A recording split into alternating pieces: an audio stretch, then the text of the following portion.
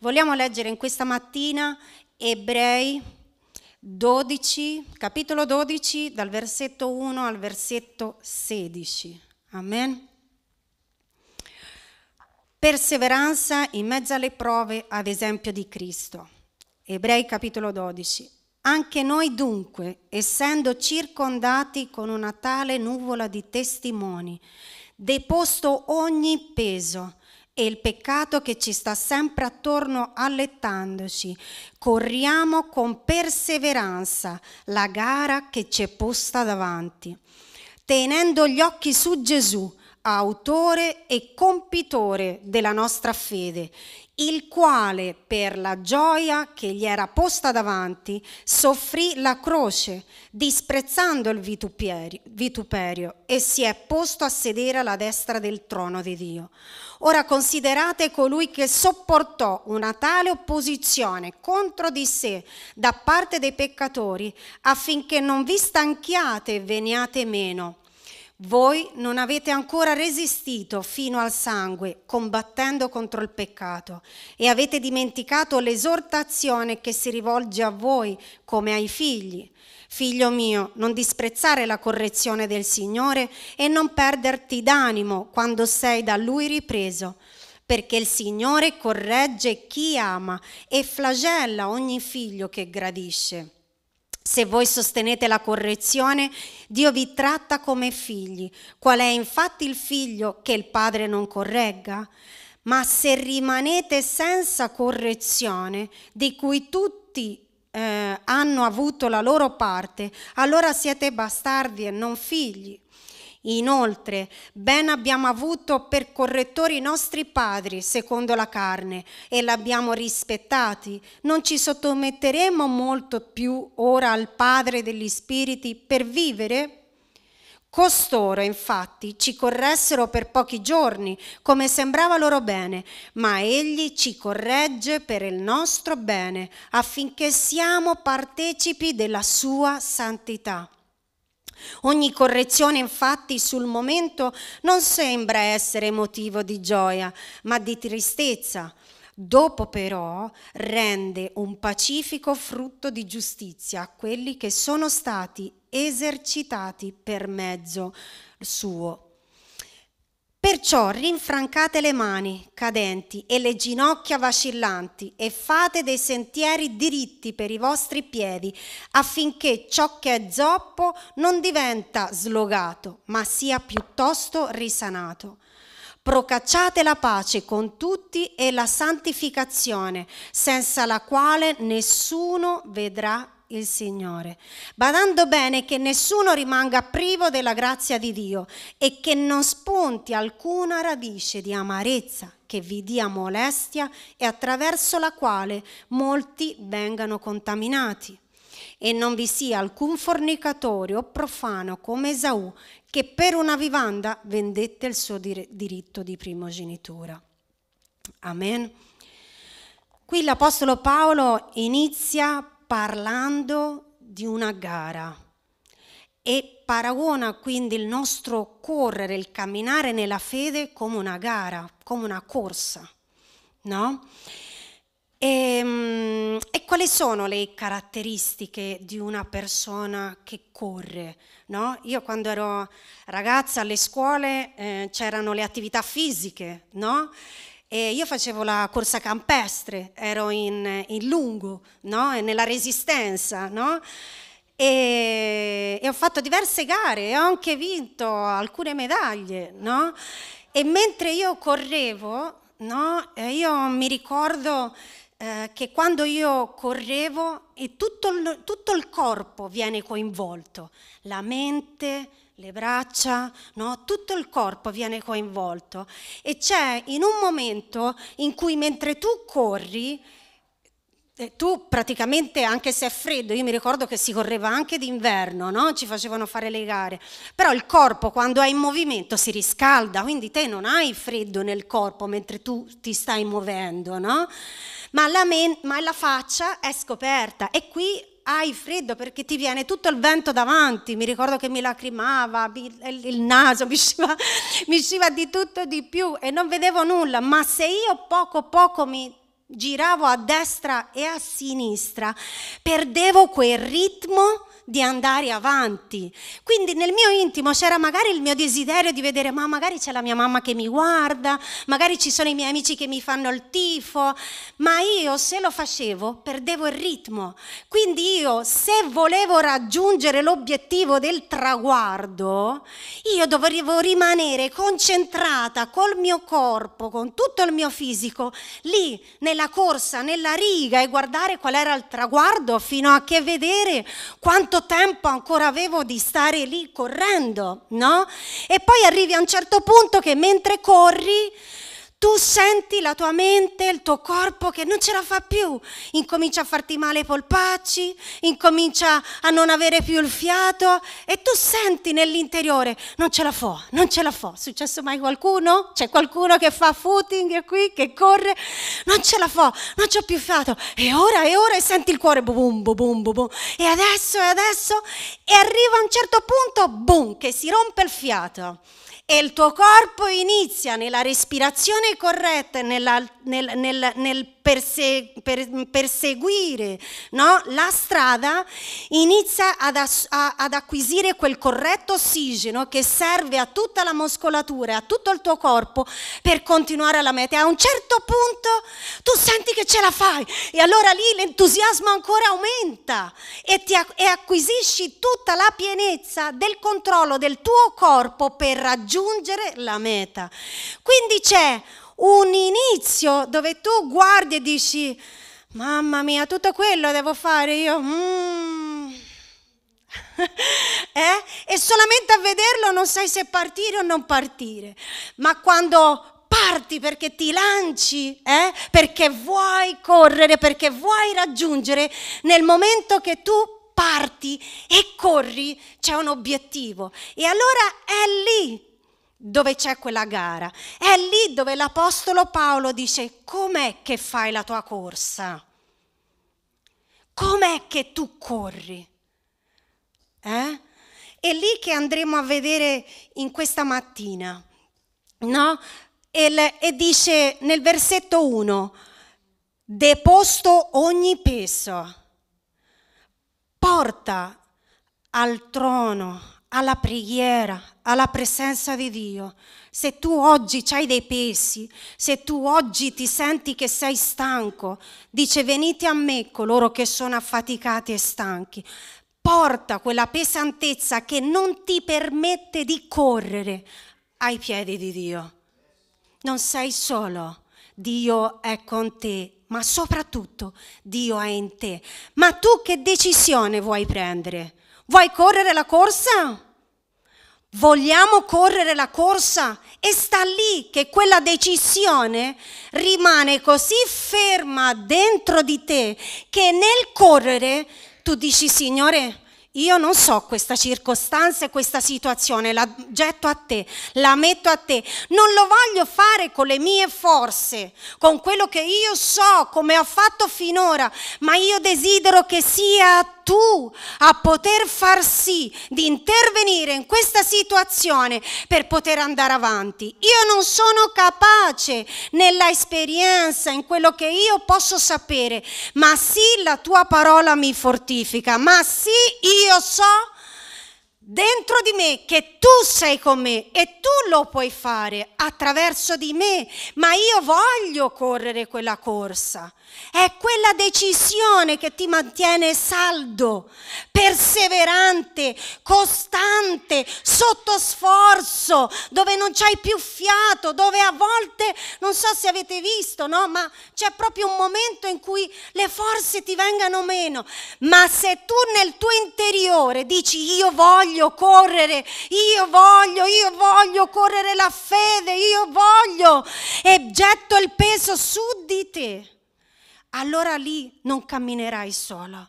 Lì sarà lo Spirito Santo che ti fortifica, lì il Signore ti darà la parola giusta per rinnovarti, per fortificarti, per guidarti, per ammaestrarti, per darti sapienza, per uscire, come diceva Pastor Monica, da quella situazione in vittoria. Amen. Getta il tuo peso su Gesù. Amen. E dice il peccato, il peccato sta allettandoci, no? No? E, e, mi ricordo appunto, io guardavo, la mia mamma c'è? Eh? Dov'è la mia mamma? I miei amici mi fanno il tifo? No, sono solo, non vedi nulla perché poi... Eh? Eh, perché, perché, poi la vista ti si annebbia, no?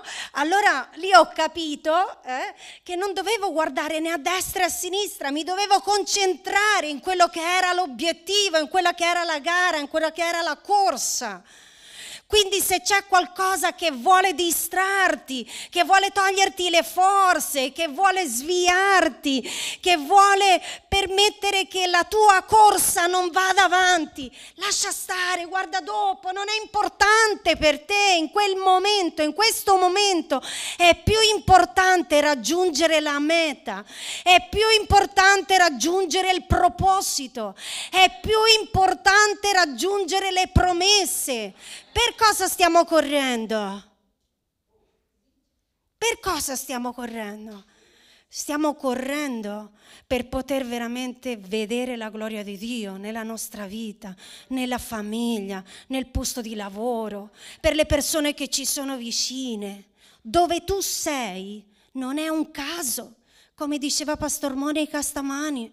Non è un caso che sei qui oggi, non è un caso nel posto di lavoro dove sei, non è un caso nella famiglia dove sei, non è un caso nel condominio, nel posto dove tu abiti, non è un caso. Dio ti ha dato un chiamato, Dio ti ha dato un proposito, Dio ti ha dato delle promesse che se tu decidi oggi di voler correre la corsa nella fede verso di Lui, tu raggiungerai o sì o sì quel traguardo, o sì o sì quella medaglia, o sì o sì quella gloria, o sì o sì quella salvezza, o sì o sì quella restaurazione della famiglia, o sì o sì quella guarigione.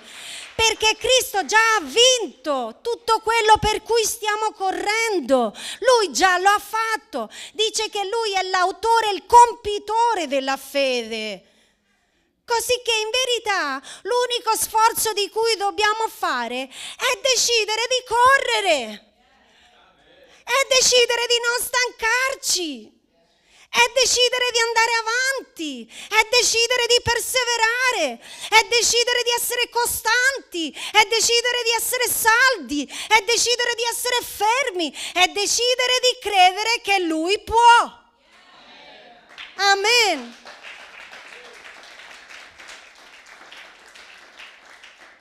Quindi gettiamo il peso su Gesù, non ci facciamo distrarre né a destra né a sinistra e manteniamo con perseveranza la gara che ci è posta davanti. Come? Tenendo gli occhi dove? Su Gesù. Amen. E perché su Gesù?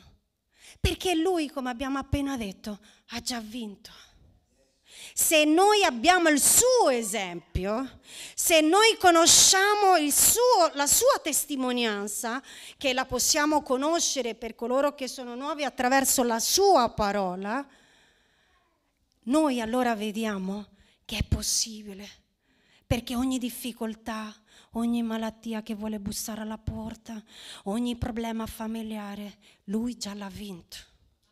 Lui ha sofferto la croce per darci a noi libertà, per darci a noi guarigione, per darci a noi la vittoria. Quindi il nostro sguardo dove deve essere?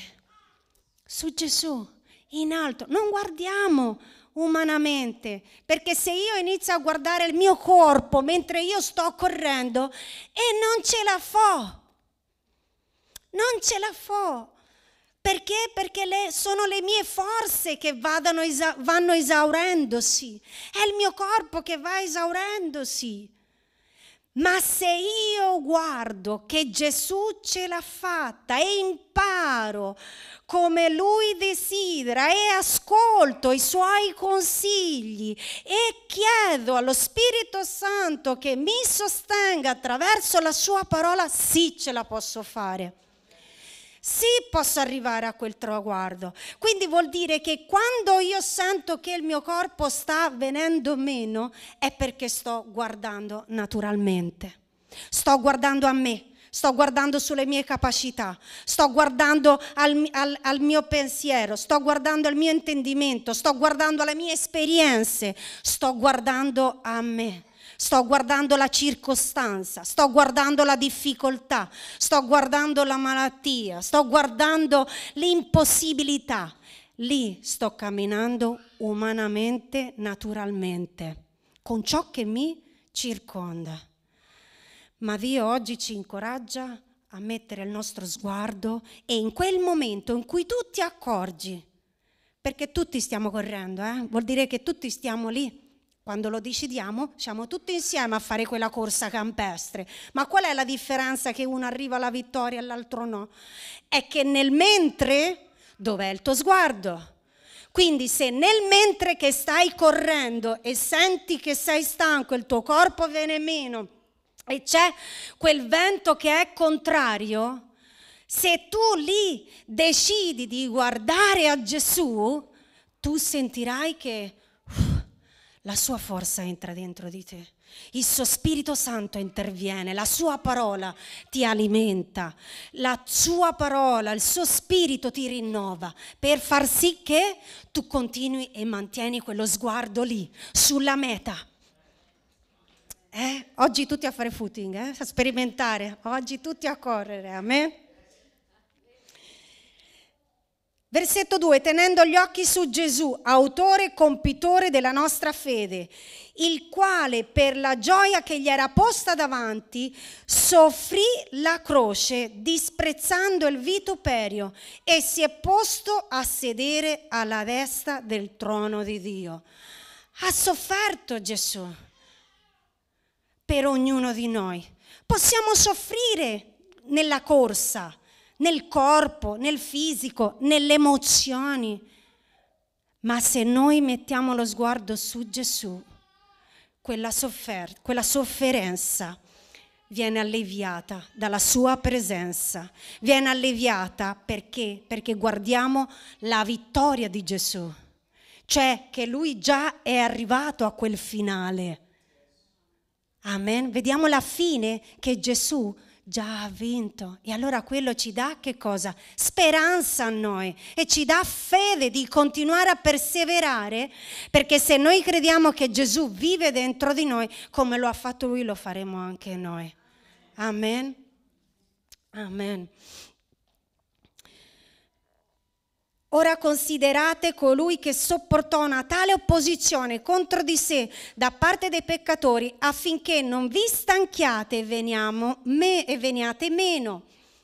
Quando corriamo, quando abbiamo dei principi, quando abbiamo dei propositi, quando abbiamo delle mete, quando abbiamo dei valori, dentro di noi, lo manifestiamo come abbiamo detto anche nella società, anche nel mondo del lavoro, anche nel posto dove noi ci troviamo.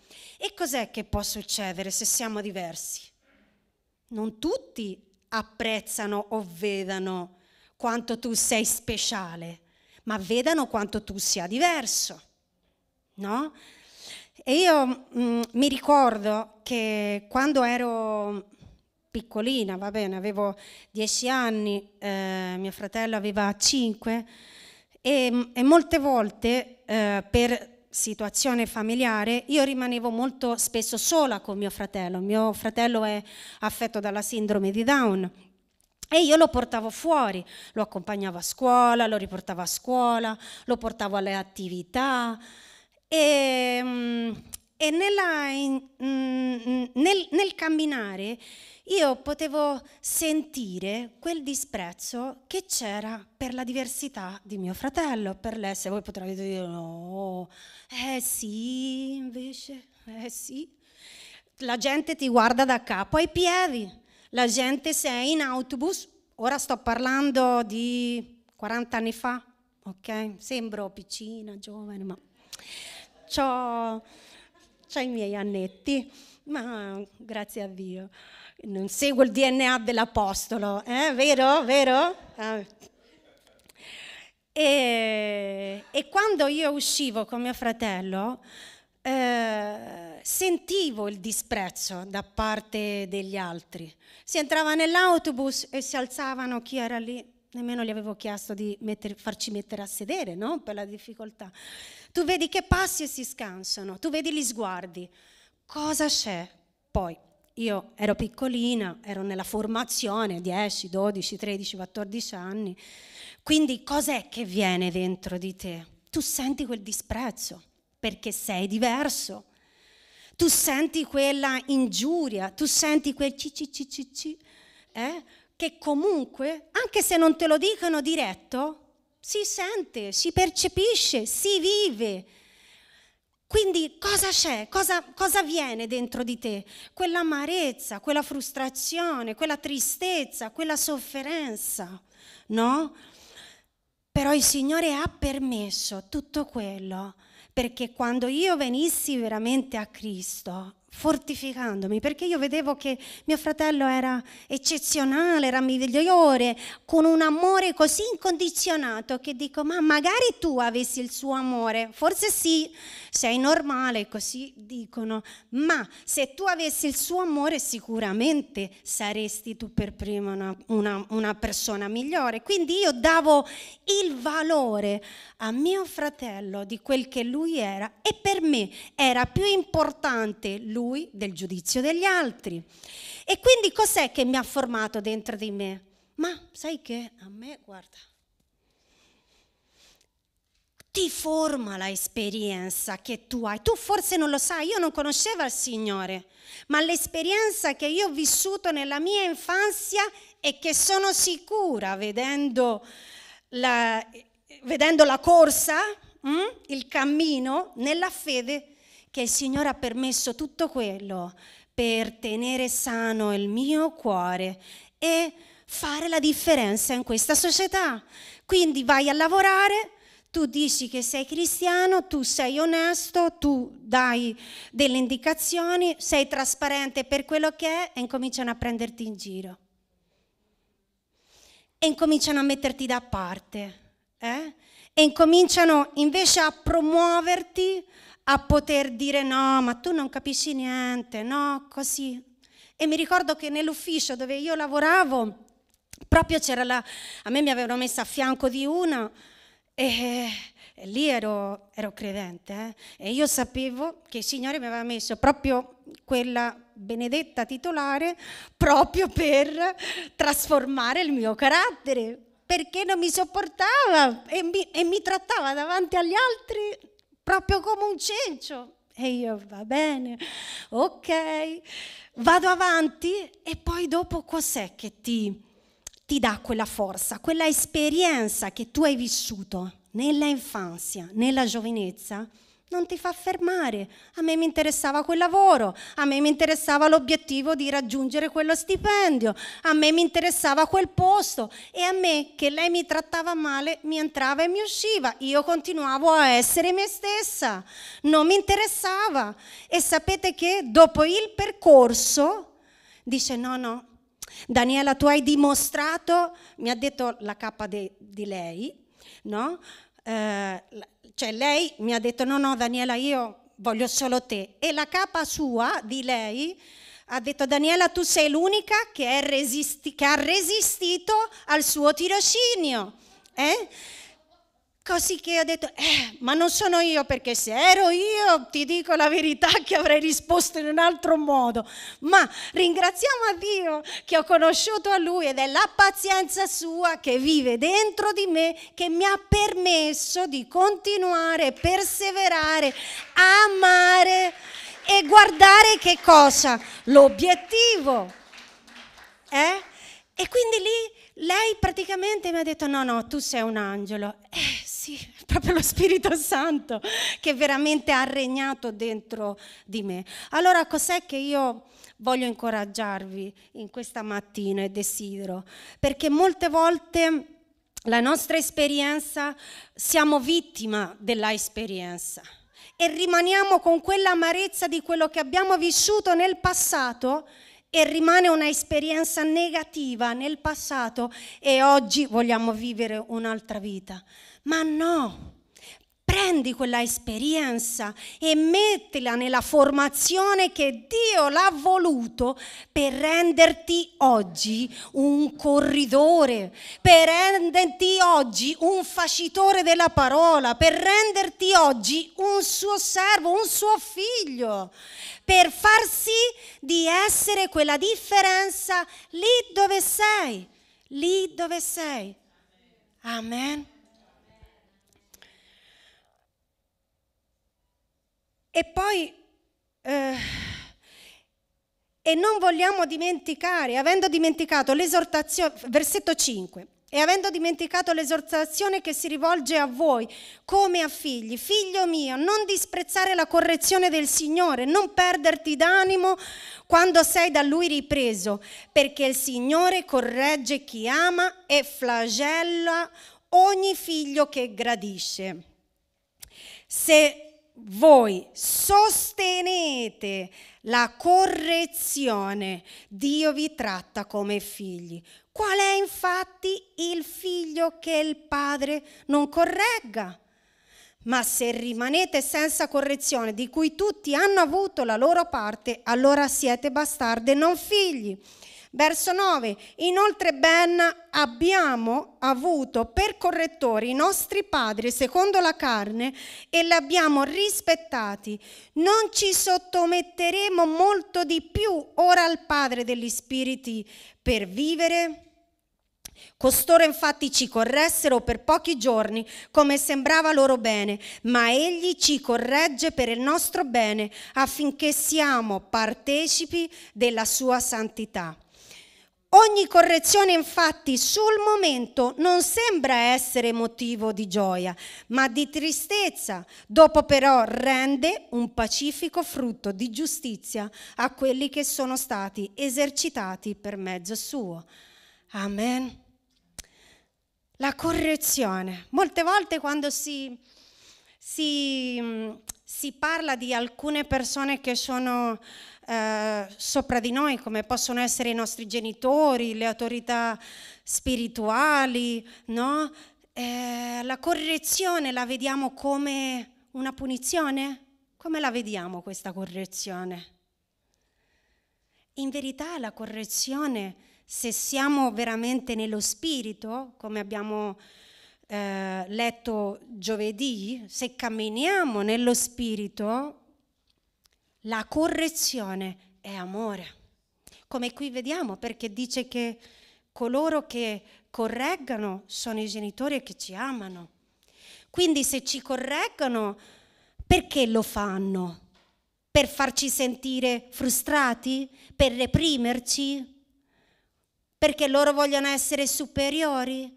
No, se ci correggono è perché desiderano che vedano in te quel proposito, quel, quel, chiamato e vedano quelle cose che sono storte e che magari anche vengano da un DNA. Per questo loro lo vedano, perché sono superiori spiritualmente a noi e quindi quella correzione è buona per noi, è amore.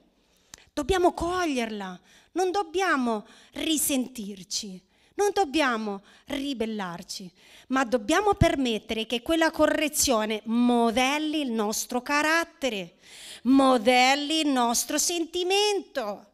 Io mi ricordo alla mia età, oggi vi apro, siamo fra di noi, oggi ce lo possiamo permettere. Come? Oggi, oggi eh, io eh, quando ero Adolescente incominciavo in, con tante responsabilità insomma, all'interno della famiglia, però c'è stato dei momenti in cui eh, non è che ero proprio d'accordo con tutto quello che stava succedendo in famiglia e quindi ogni tanto partivano i cinque minuti. Come mi partiva i cinque minuti?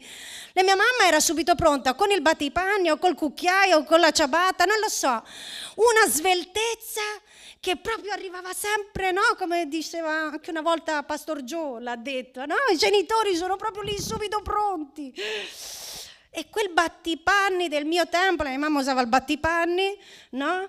Ecco, l'ho sentito in tutti i punti, perché? Perché magari io cercavo di sviarmi, però lei ta, ta, ta. Però io ringrazio a Dio a quel battipanni, a quella correzione, perché veramente permetteva di farmi capire che quello che stavo facendo non era corretto. E se non c'è quella correzione, tu forse non ti rendi conto.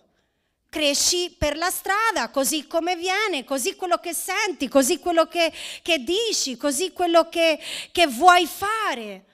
Ma se coloro che sono stati messi a fianco a te, e per primo ci sono i nostri genitori, e poi quando passiamo nella famiglia spirituale ci sono i nostri leader, e noi abbiamo un'attitudine di umiltà, di poter comprendere che quella correzione è buona, anche se all'inizio abbiamo visto non è che ci piace, eh, non è che provoca gioia, provoca tristezza, ma se tu dici sostieni quella correzione, cioè rimani lì nel processo, nella corsa, nel cammino, nell'andare avanti, se tu sostieni quella correzione, Dio permetterà di trasformare il tuo carattere e sostituire il carattere di Daniela nel carattere di Gesù Cristo, sostituire i sentimenti di Daniela nel sentimento di Gesù Cristo. C'è una formazione nella corsa, c'è un percorso, c'è un processo. Non c'è solo il traguardo o la vittoria, quello deve essere da stimolo, da speranza che tu arrivi lì, ma nel mentre c'è un processo resistiamo in quel processo perché lì Dio vuole formarti d'accordo al suo proposito, che forse tu nel momento della corsa non lo sai, ma apprezza ogni cosa che Dio vuole dirti attraverso le circostanze, le situazioni, i tuoi servi, coloro che Dio ha messo davanti a te, con quello spirito di veramente voler imparare, di umiltà lì quella è formazione e Dio vuole veramente portarti a poco a poco a un traguardo meraviglioso per la tua vita. Amen. Amen. Ora, noi siamo da soli? No. Amen.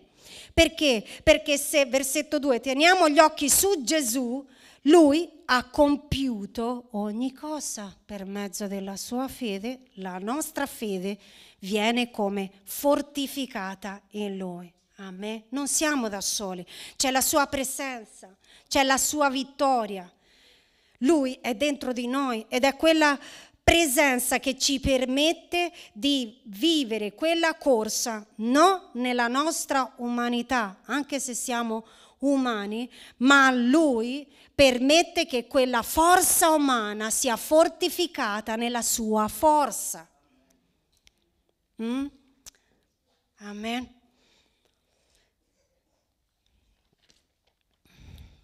Perciò rinfrancate le mani cadenti, versetto 12, e le ginocchia vacillanti e fate dei sentieri diritti per i vostri piedi affinché ciò che è zoppo non diventa slogato, ma sia piuttosto risanato. Amen.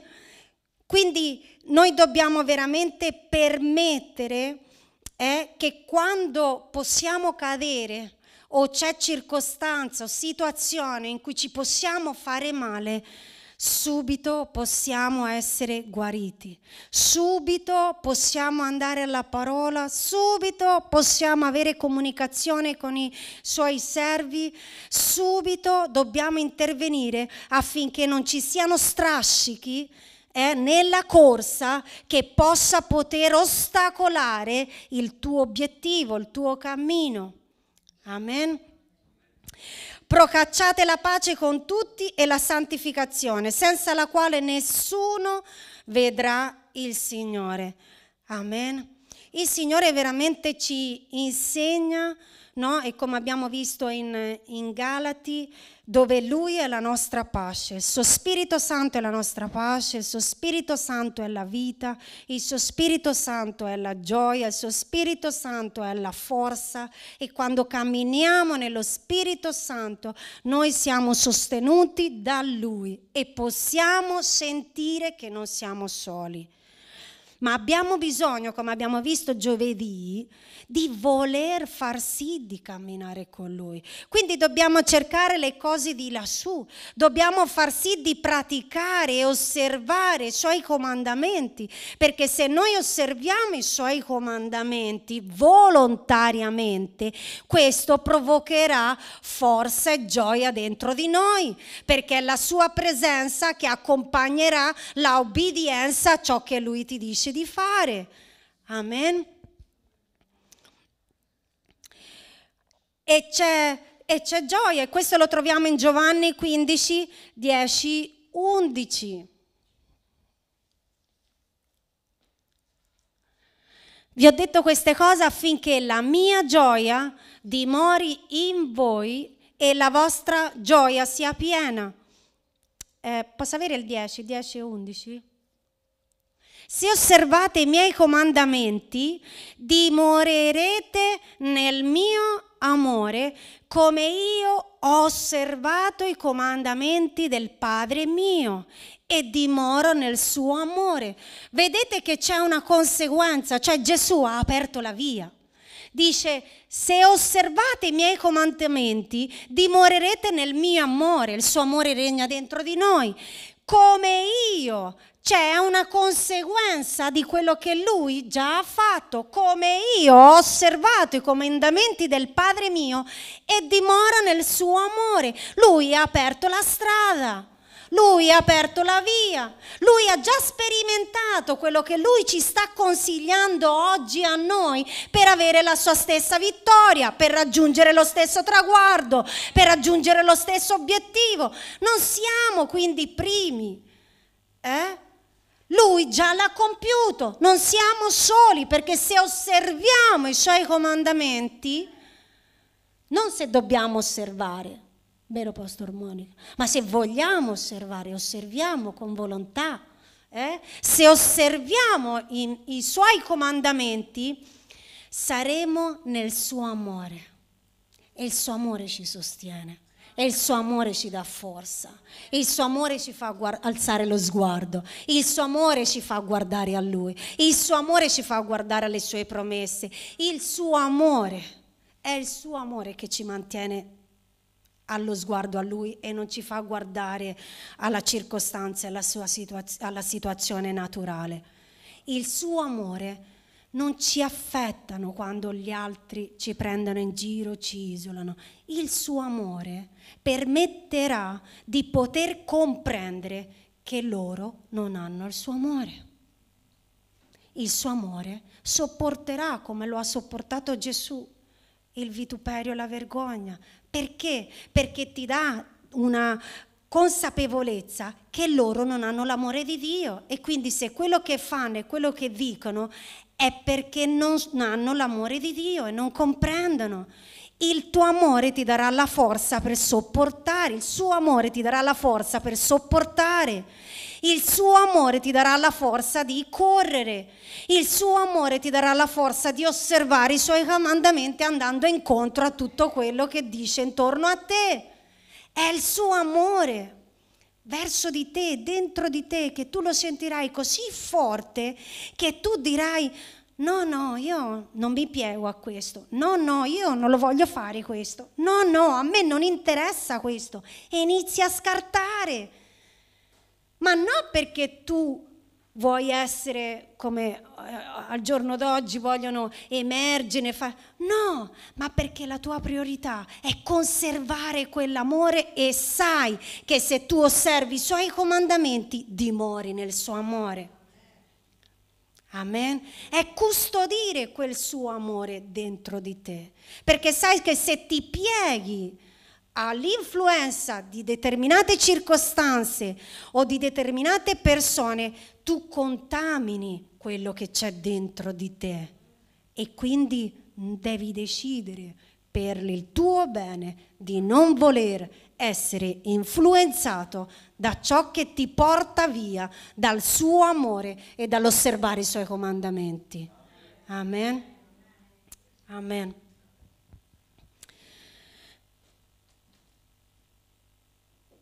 E quindi quando ci pesa è perché lo facciamo con le nostre forze. eh, e veniamo di conseguenza meno.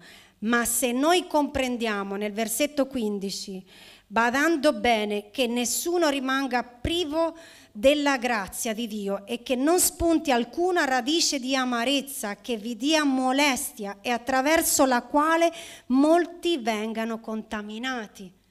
Amen. Dobbiamo permettere che nella corsa, se ci sono contese, disguidi, eh, di non permettere che quell'amarezza possa rimanere nel nostro cuore. Lascia, perdona. Come tu ricevi amore da parte di Dio, perdona. Lascia quell'amarezza.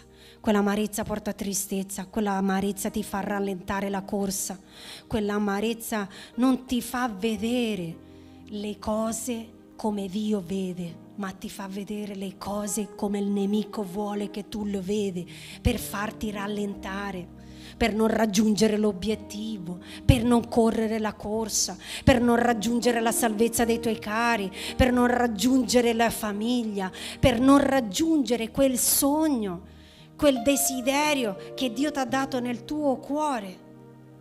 Lascia l'amarezza, lascia, lascia tutto quello che può essere ostacolo di quello che invece fa parte l'amore di Dio per raggiungere quell'obiettivo. Amen. E non vi sia alcun fornicatore profano come Esaù che per una vivanda vendette il suo diritto di primogenitura. Amen. Conserviamo il valore veramente dei principi da parte di Dio e che siamo veramente ripieni della sua grazia perché è solo attraverso la sua grazia, come oggi c'è una presenza meravigliosa del suo Spirito Santo, non è per uomo, non è per donna, ma è per la sua grazia, è per il suo Spirito Santo, è per quello che lui è, è perché è la sua parola, è perché è la sua presenza, non è per noi. Camminiamo sotto quella grazia. Cerchiamo con tutto il nostro cuore la guida dello Spirito Santo, perché è lì che vivremo con quella pace, lì che vivremo con quella pienezza e quell'abbondanza della sua parola. Amen. E quando noi camminiamo con quella gioia, quando noi camminiamo con quell'amore, siamo di ispirazione agli altri. Perché? Perché nulla ci ferma, il nostro obiettivo è mantenere e custodire quell'amore, fare la sua volontà e correre. E quando noi corriamo e non permettiamo che l'altro possa influenzarci, c'è qualcuno che ti sta guardando e sta vedendo la tua corsa e dice anche io voglio correre, anche io voglio essere perseverante, anche io voglio camminare e correre come lui fa come lei fa e conosce a quel punto qual è la chiave che è l'amore di Cristo e questo permette di far sì che possiamo insegnare agli altri quello che abbiamo imparato noi.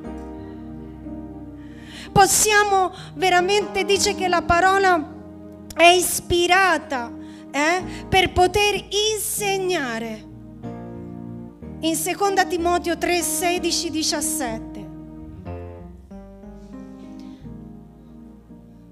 E concludo, tutta la scrittura è divinamente ispirata e utile a insegnare, a convincere, a correggere, a istruire nella giustizia, affinché l'uomo di Dio sia completo, pienamente fornito per ogni buona opera. Amen quando noi abbiamo quella vittoria di Gesù e sperimentiamo nella corsa che osservare i suoi comandamenti, rimanere perseveranti e costanti, raggiungiamo quella gioia che persiste al di là di quelle che siano le situazioni e le circostanze. Qual è il nostro desiderio? È di amare gli altri come noi stessi. Qual è il nostro desiderio? È di dare agli altri ciò che abbiamo noi è di insegnare per la sua parola quello che abbiamo raggiunto per far sì che anche altri la possano raggiungere. E quindi ci verrà spontaneo di poter condividere la nostra gioia, di poter condividere il nostro amore di poter condividere la nostra esperienza che abbiamo avuto con Gesù perché sappiamo che è quello che ci ha reso completi e il nostro desiderio è che così sia fatto, non solo per noi, ma anche agli altri. Amen. Amen. Amen. Vogliamo veramente ringraziare il Signore e vogliamo veramente concludere in questo giorno chiedendo che lo Spirito Santo si attivi dentro di ognuno di noi per mantenerci saldi, per mantenerci perseveranti, per cercare il suo proposito e la sua meta affinché siamo fermi nelle sue promesse e possiamo iniziare quella corsa, possiamo iniziare quel cammino, quella corsa di fede per poter raggiungere quegli obiettivi che Lui ci ha messo davanti. Qual è il tuo obiettivo in questo giorno? Di raggiungere la tua famiglia, la salvezza, una guarigione, un miracolo, un lavoro, un sogno, una visione che ti ha dato il Signore, che l'hai condivisa con i tuoi servi e che hanno detto che questo viene da Dio ma non sai da che parte iniziare? Vogliamo oggi alzarci e veramente poter iniziare la nostra corsa insieme per poter rimanere saldi e camminare nella fede, guardando a Gesù, l'autore e compitore della nostra fede, e che Lui già ha vinto ogni cosa. E se hai un peso oggi, se ti senti stanco, il Signore desidera rinnovarti. Il Signore desidera dirti non sei solo in questa sfida, non sei solo in questa difficoltà, non sei solo in questa circostanza, non sei solo. Io sono con te, lascia ogni peso a me, vieni a me oggi, leggi la mia parola, guarda a me, io ho già vinto quella situazione, quella circostanza. Il Signore oggi vuole incoraggiarci per attivarci e, iniziare un nuovo giorno, un nuovo tempo, una nuova stagione in Lui, in vittoria. Amen.